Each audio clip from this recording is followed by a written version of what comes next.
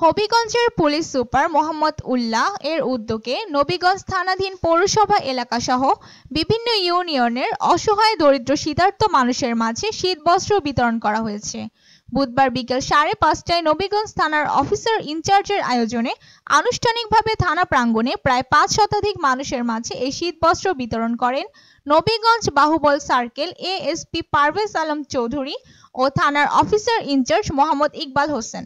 এ সময় উপস্থিত ছিলেন থানার ওসি গোলাম দস্তগীর আহমেদ, পৌরসভার প্যানেল মেয়র এক ATM Salam, councillor Zakir Hossain, councillor Zayed Chowdhury, Nabiganj সাংবাদিক ফোরামের সভাপতি শাহ সুলতান আহমেদ, সাংবাদিক ফোরামের সাধারণ সম্পাদক ও দৈনিক হবিগঞ্জ সময়ের বার্তা সম্পাদক মতিউর রহমান মুন্না, থানার second officer S I Shamsul Islam, S I Firoz Alam, S I Fakhruzzaman, S I Sabbir Ahmed S I Achinta Adhikari, S I Atikur Rahman, S I Parthoranjan Chakraborty, Abhijit Bhowmik সহ অনেকেই।